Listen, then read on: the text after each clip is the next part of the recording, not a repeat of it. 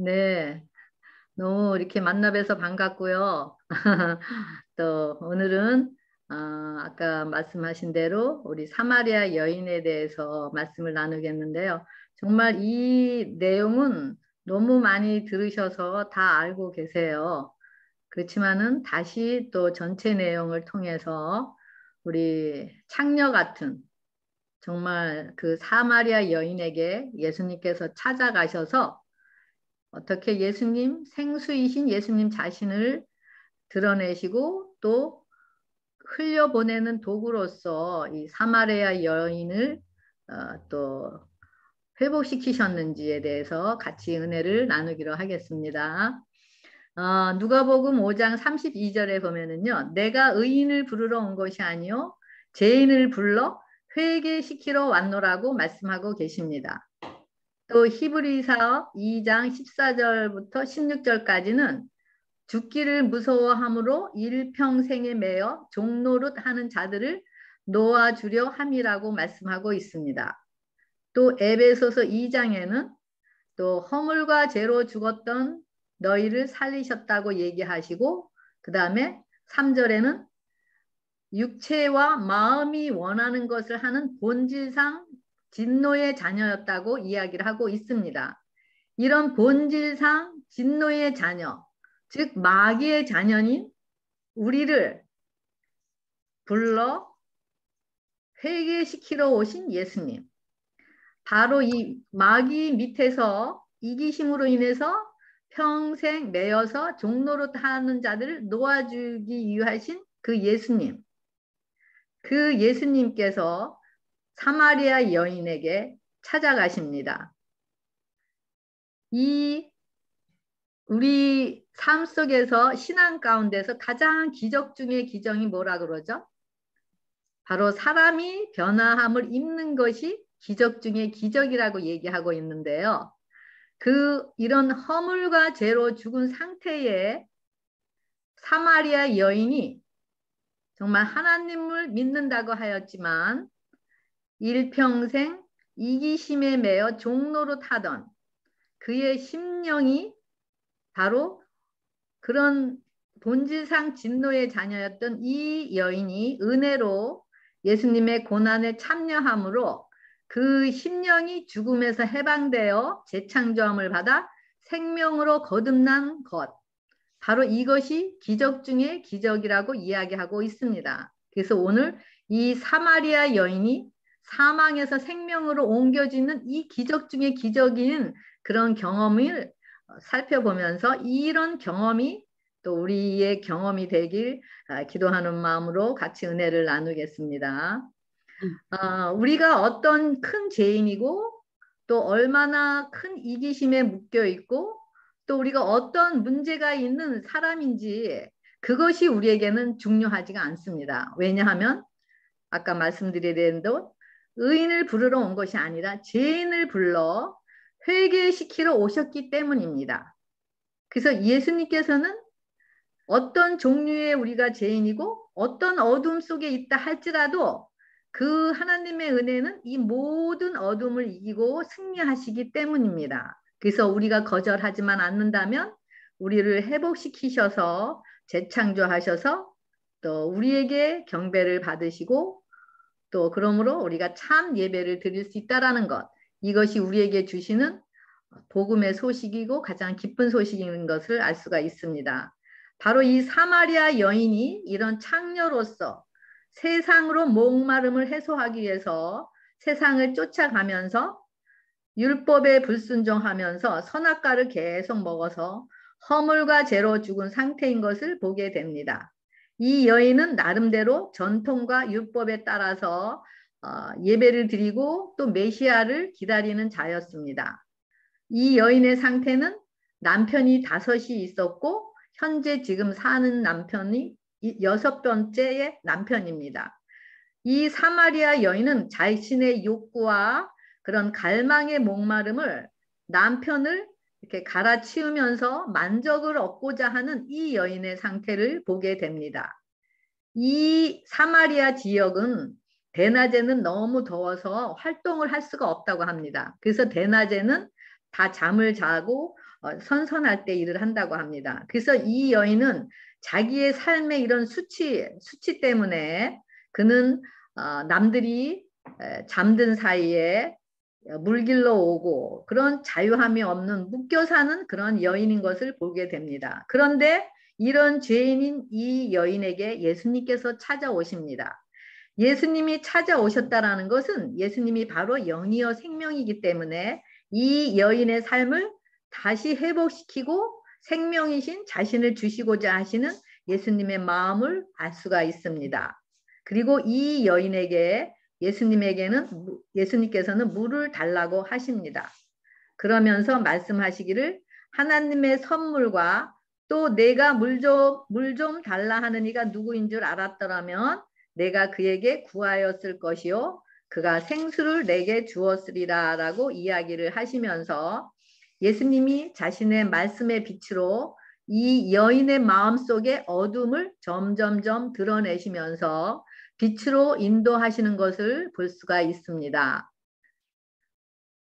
이 어둠, 우리 마음속에 이 어둠을 조금씩 드러내는 것, 이것도 하나님의 큰 자비인 것을 알 수가 있습니다. 왜냐하면 우리 마음속에 그 어둠, 우리의 죄악을 정말 우리의 죄의 상태를 한꺼번에 다 그 빛을 통해서 드러내셨다면 우리는 정말 아, 감당할 수가 없고 그 빛에 녹아져서 없어졌을 것입니다. 그래서 이것도 하나님의 은혜인 것을 여기서 보게 되네요. 그래서 이 여인의 믿음, 이 여인은 메시아를 기다렸지만은 아직은 믿음이 육에 속한 자였기 때문에 육은 영을 받아들일 수 없는 상태입니다. 그렇기 때문에 이 여인은 예수님의 말씀을 그 육적인 운물로 생각을 하면서 육적인 목마름을 해결해 주는 운물에 대해서 어, 이야기하고 있는 것을 볼 수가 있습니다. 11절에 물 길을 그릇도 없고 이 운물 깊은데 어디서 이 생수를 얻겠습니까? 라고 이 여인이 예수님에게 질문을 합니다. 그래서 여기서 야곱의 운물은 깊다라는 것, 그 깊다라는 의미는 사람이 고의로 판 우물, 즉 육적인 목마름만 해결하는 생명이 없는 어둠이 깊은 그 죽음의 물을 이야기하고 있는 것을 의미합니다. 그리고 또그 어, 이런 또 세상에 또 그리고 물, 물 길을 그릇도 없다라는 것은 세상의 욕심과 이기심으로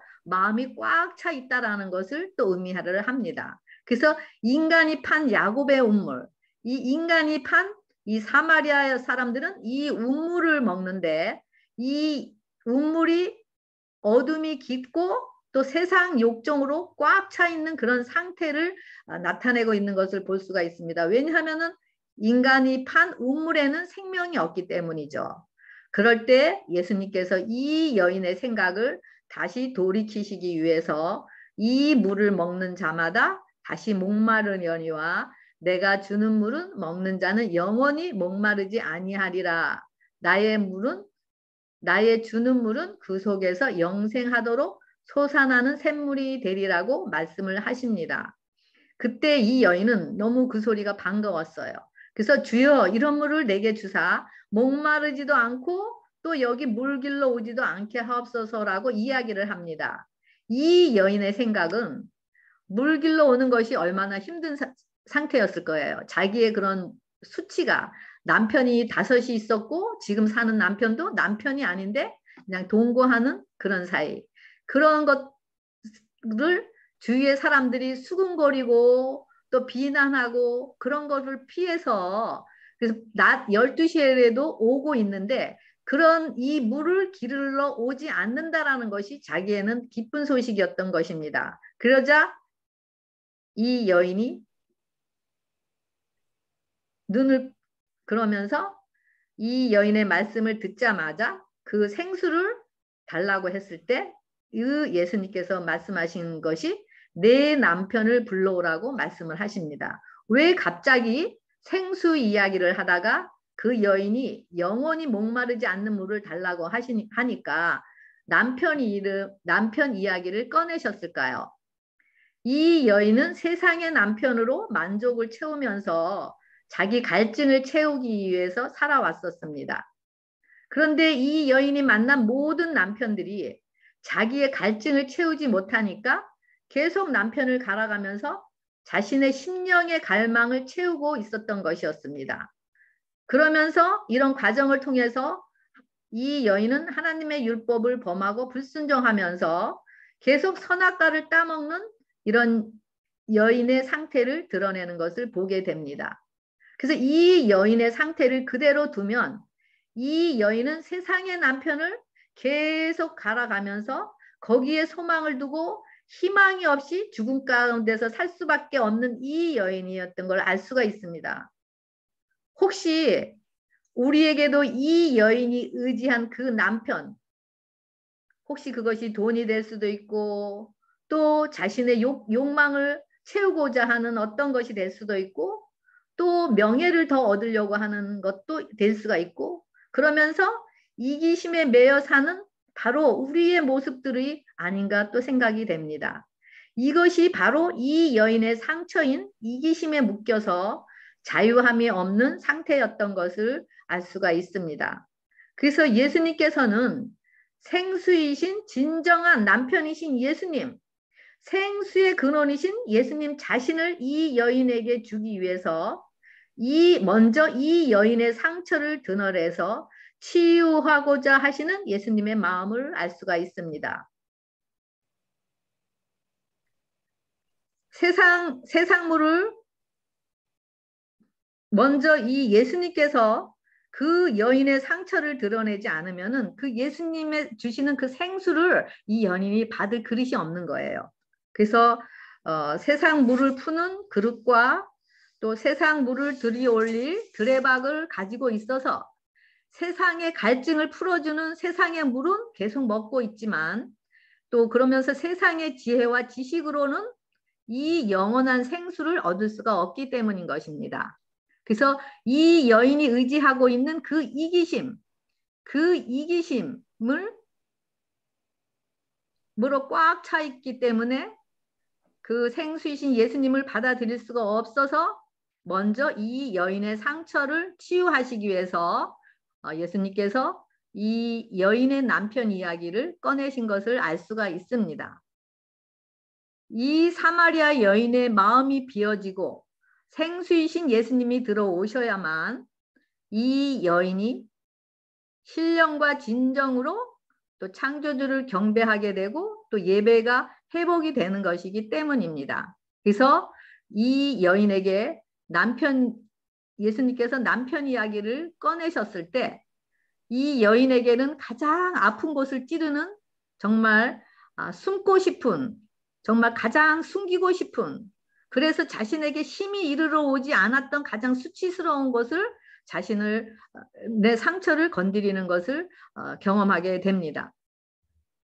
이렇게 성령님께서 이렇게 죄인들을 십자가로 이끄시는 이유가 바로 죄인을 구원하시고 회개시키고 이기심에 묶여 종로로 타는 곳에서 빼어내기 위한 것임을 알 수가 있습니다.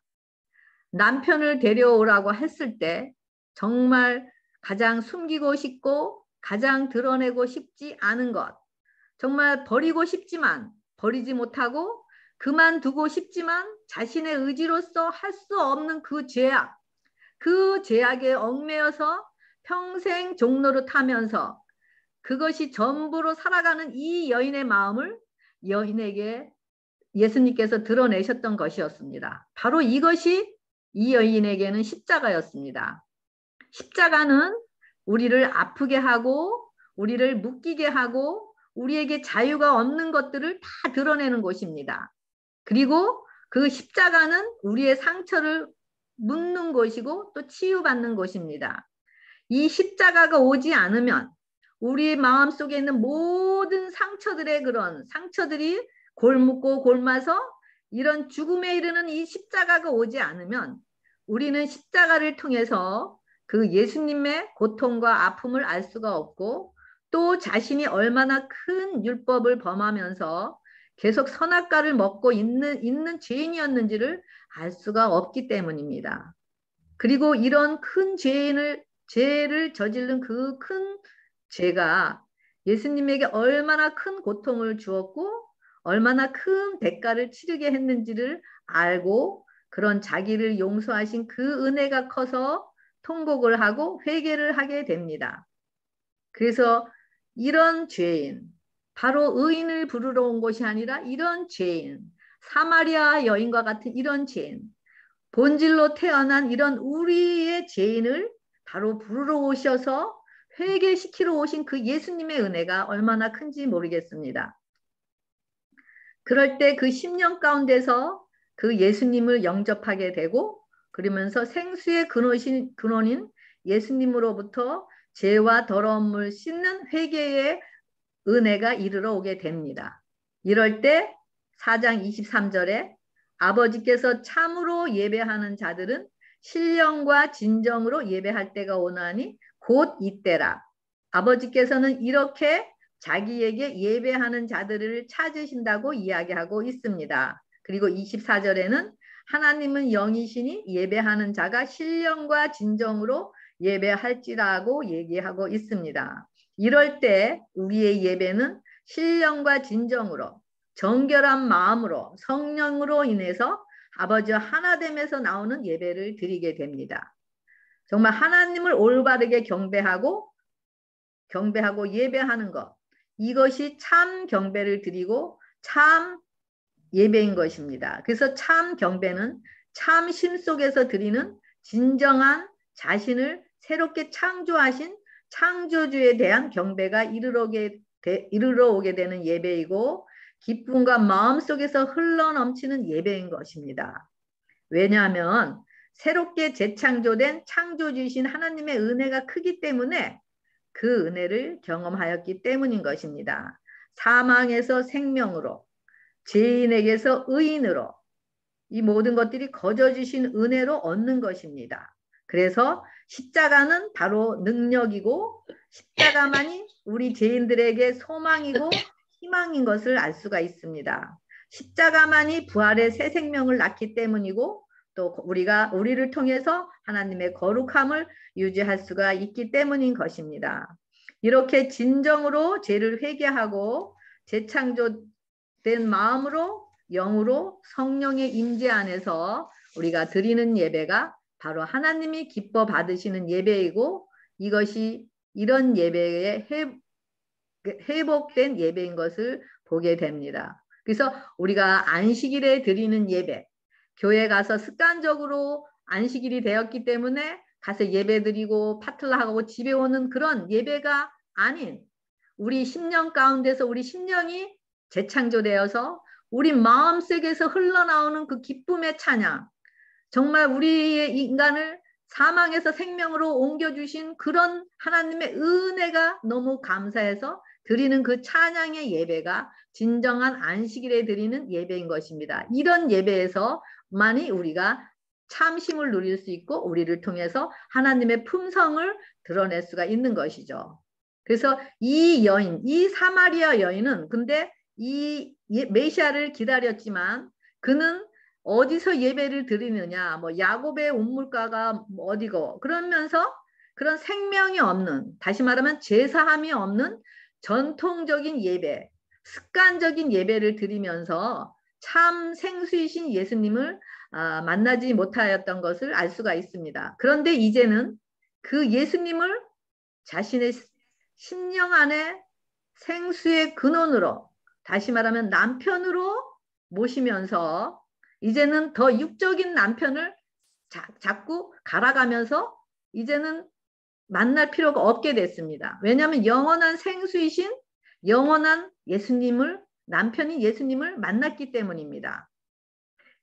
26절에 보면 예수께서 이르시되 내게 말하는 내가 그로라 하시면서 예수님께서 자신을 계시하시면서 예수님을 그 여인의 심령에 영접하게 됩니다. 그러면서 이 여인은 그 생수의 근원 대신 예수님과 하나됨으로써 이제는 한 부부로서 이제는 살아가게 되는 것을 알 수가 있습니다. 바로 이 이야기가 우리 죄인의 본질을 가진 영혼들이 예수님의 십자가를 통해서 우리가 거듭나서 함께 죽고 함께 장사 지내고 함께 부활해서 승천해서 그 성령의 임재를 통해서 우리가 재청점을 받아서 예수님과 하나 됐을 때 이것을 우리가 아, 진정한 결혼의 이유라고 얘기하고 우리가 혼인 예복을 입는 것이라고 이야기하고 있습니다. 그래서 그러면서 이 여인은 그 생수에 대신 예수님, 그 생수 되신 예수님과 만나서 하나가 되었기 때문에 그 여인의 증거는 바로 그의 과거의 상처가 치유되었고 이제는 더 이상 그 여인의 주인이 자신이 아니고 예수님이 그 여인의 주인이 되었던 것을 알 수가 있습니다. 그가 그 예수님을 만나고 나서 그는 더 이상 과거에가 창피한 것이 없었습니다. 과거에 자신의 과거가 어떻든지 간에 그 예수님으로 인해서 십자가를 경험하면서 치유를 받았기 때문에 더 이상 창피한 것이 없었습니다. 그래서 그 여인은 그 예수님을 영접하고 그 다음에는 그 물동이를 버려두고 동네에 들어간 것을 알 수가 있습니다. 그 물동이를 두고 갔다라는 것은 육신적인 물을 포는 그 물, 물을 담는 그 물동인데 그것은 바로 옛생애를 버렸다라는 것을 의미합니다. 그리고 과거를 용서받았다라는 것을 알 수가 있습니다. 그렇기 때문에 남들이 이 여인에 대해서 과거에 대해서 뭐라고 이야기한다고 할지라도 남들이 자신에 대해서 어떤 비웃음을 가지고 이야기한다 할지라도 더 이상 그들의 말은 그 여인에게 상처를 줄 수가 없었습니다. 왜냐하면 용서받은 은혜가 너무 커서 자신의 그런 추함과 더러움은 그 여인에게 더 이상 문제가 되지 않고 그 상황을 초월해서 주님을 전하는 것을 보게 됩니다. 이것이 바로 십자가의 능력인 것을 보게 됩니다. 두려움 없이 담대하게 이기는 자가 된 것입니다. 이 이기는 자, 바로 이기는 자가 우리가 나중에 받을 하늘에서 받을 엄청난 보상의 결과인 것을 알 수가 있습니다. 그래서 하나님께 대한 순종은 제 속박에서의 해방과 인간의 정욕과 충동에서의 구원을 뜻한다고 얘기했습니다. 그래서 인간의 순종은 하나님의 은혜를 경험한 자들에게서 우러나오는 믿음에 따른 순종의 행위인 것을 알 수가 있습니다.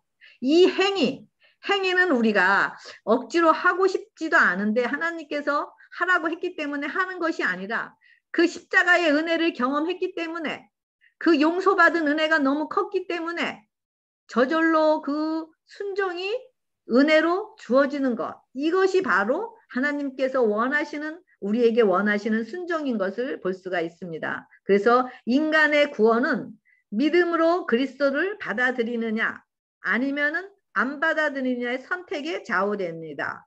요한일서 5장 12절에는 아들이 있는 자에게는 생명이 있고 아들이 없는 자에게는 생명이 없기 때문이라고 이야기한 것입니다. 이 여인은 옛 생애를 다 씻어서 재창조함을 받고 믿음으로 주를 전하는 첫 생명의 추수꾼이 된 것입니다. 고린도전서 14장 15절에는 그러면 어떻게 할까? 내가 영으로 기도하고 또 마음으로 기도하며 내가 영으로 찬송하고 또 마음으로 그리고 신령과 진정으로 참대, 참다운 경배자가 된 것을 알 수가 있습니다. 영으로 기도하고 영으로 찬양하고 마음으로. 그래서 우리 마음이 교회에 가 있지만은 우리의 생각 속에 여러 가지 잡동산이 생각으로 꽉 차 있는 상황에서 몸은 교회에 갔지만 마음은 다른 데 있는 그런 예배는 하나님께서 즐겨 받으시지 않는다라는 것을 알 수가 있습니다. 그래서 니고데모에게 말씀하셨듯이 사람이 거듭나지 않으냐면 하나님의 나라를 볼 수 없다고 했고 그래서 그분을 올바로 섬기기 위해서는 우리가 성령으로 어, 거듭나야 한다라는 것을 알 수가 있습니다. 그래서 창조 새롭게 하나님의 형상으로 창조된 자만이 하나님의 창조주신 하나님께 진정으로 영으로 마음으로 찬양을 할 수가 있기 때문입니다. 그래서 어, 이것이 마음을 정결하게 하고 정신을 새롭게 하여 하나님의 모든 요구에 즐겨이 순종하는 것, 즉 은혜가 불러온 순종을 하게 만드는 것을 알 수가 있습니다. 그래서 마음과 정신과 사상이 예수님과 하나 되어 재창조되어 다시 말하면 드리는 예배 이것이 곧 참된 경배인 것을 알 수가 있습니다. 이 여인은 그동안에 십자가 없는 예배 즉 전통과 장소와 여러 율법에 매여서 생명 없는 예배에서 다시 생수이신 남편인 예수님을 영접함으로 진정한 하나님께 경배하는 예배자로 회복된 것을 볼 수가 있습니다. 그래서 우리의 예배가 어떤 예배를 드리느냐.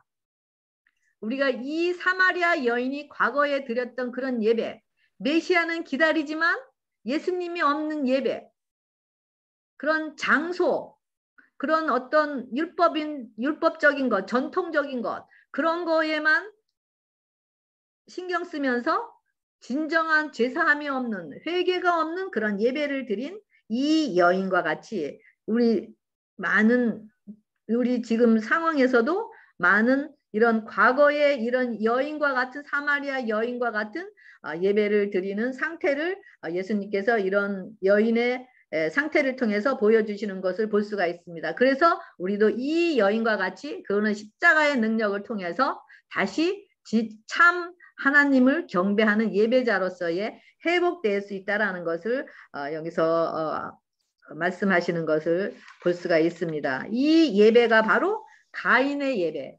이 여인이 드렸던 예배가 가인의 예배였는데 예수님을 영접함으로써 진정으로 드리는 예배가 바로 아벨의 예배였던 것을 어, 볼 수가 있습니다.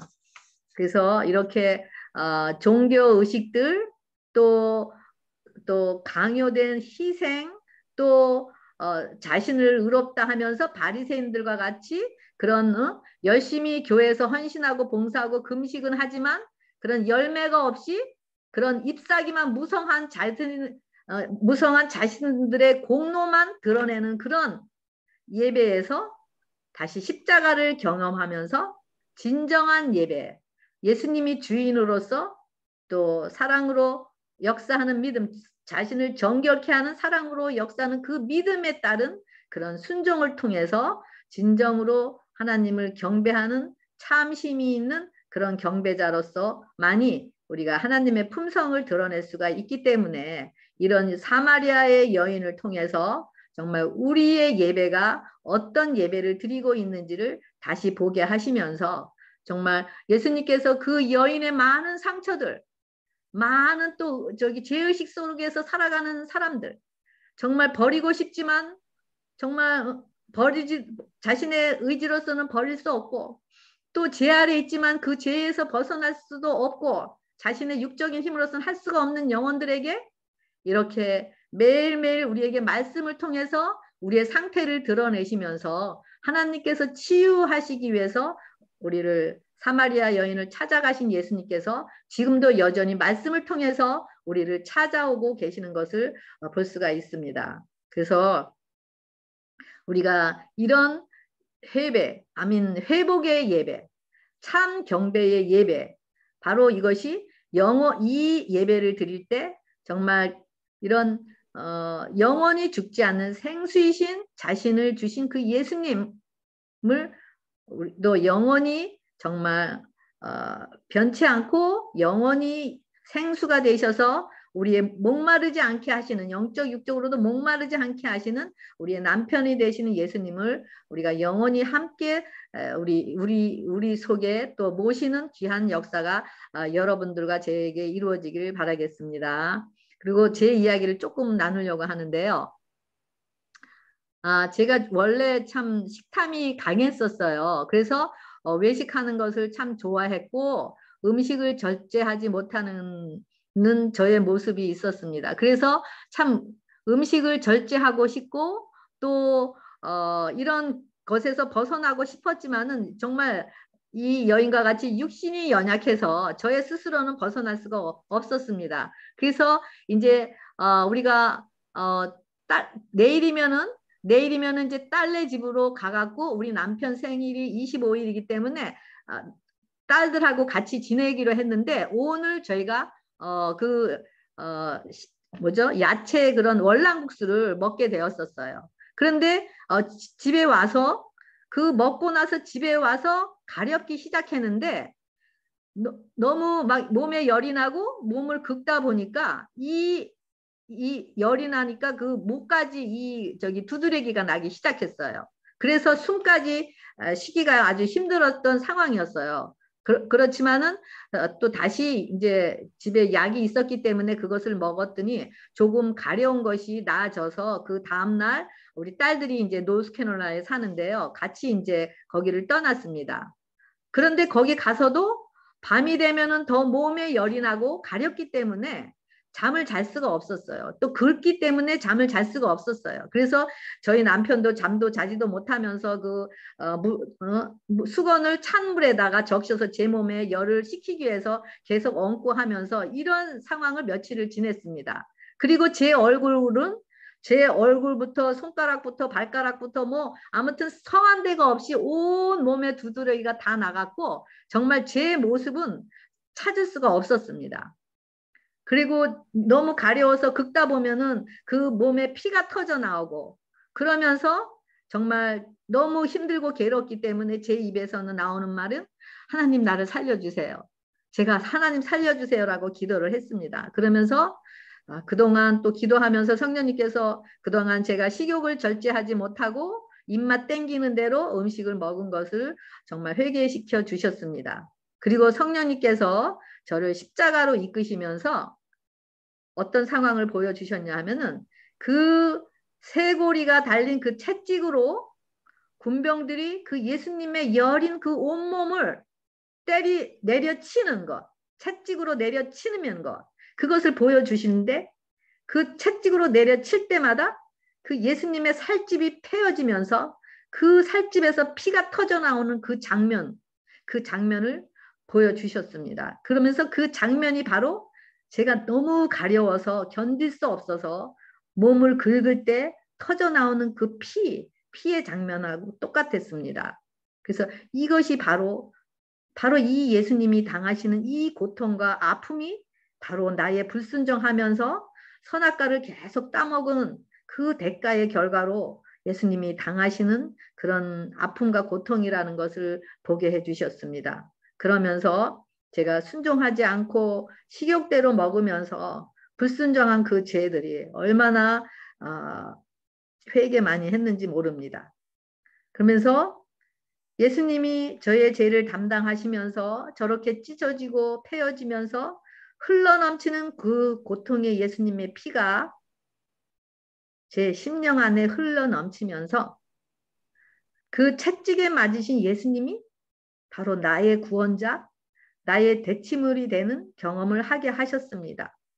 그러면서 제가 그동안 살아오면서 정말 버리고 싶고 벗어나고 싶고 하고 싶지 않은 것들 정말 저의 힘으로서는 육신이 연약해서 할 수 없었던 그런 세상에 대한 욕심과 이기심으로 붙들고 있던 이런 것들이 이런 죽음의 고통을 맛보고 나니까 이런 것들이 저에게는 아무런 가치가 없게 되었고요.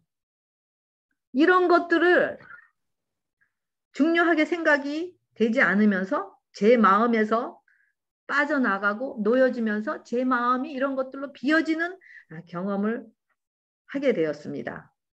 정말 이런 경험을 하면서 십자가는 정말 우리가 붙들고 있는 이기심이 죽는 곳이라는 것.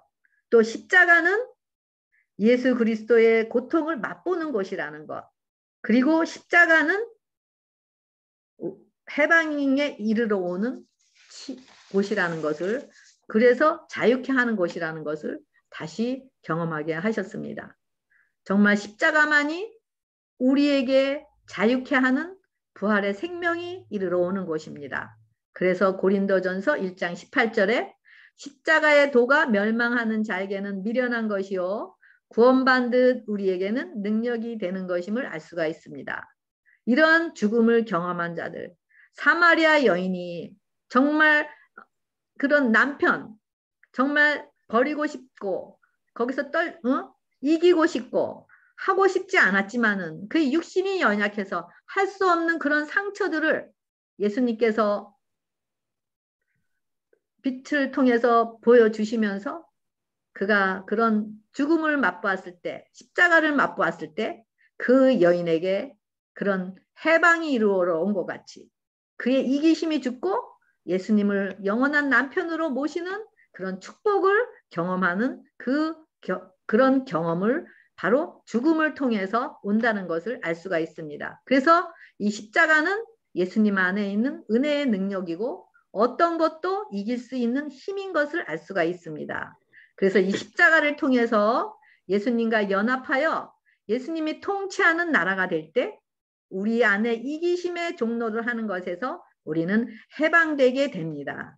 바로 예수님께서 오신 이유가 바로 이, 우리를 해방시키고 자유케 하시기 위해서 오셨고 또 그분이 예수님께서 십자가에서 돌아가신 이유인 것을 알 수가 있습니다. 그래서 이 사마리아에게 말씀하신 이 생수이신 말씀의 빛들이 지금 우리 심령의 어둠에 말씀하시는 그 말씀으로 우리 성령 안에서 들려지면서 정말 우리 안에 누구든지 다 갖고 있을 것입니다. 우리가 말씀을 보고 기도를 하지만은 우리 안에 정말 벗어나고 싶고 정말 잊어버리고 싶고 안 하고 싶은데 육신이 연약해서 계속 벗어나지 못하고 습관적으로 하고 있는 일들 마음의 정제를 느끼고 있는 이런 묶여 있는 것들 자신 스스로 할 수 없는 이런 일들이 이런 빛을 통해서 드러나시고 그러면서 정말 사마리아 여인이 모든 상처들이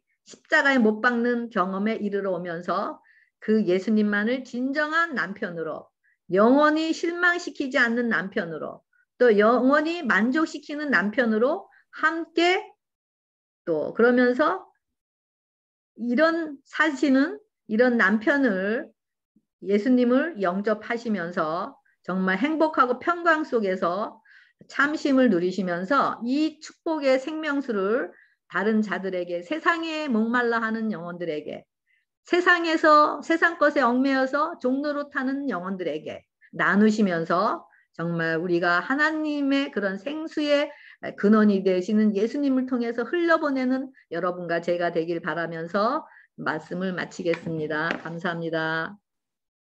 아멘.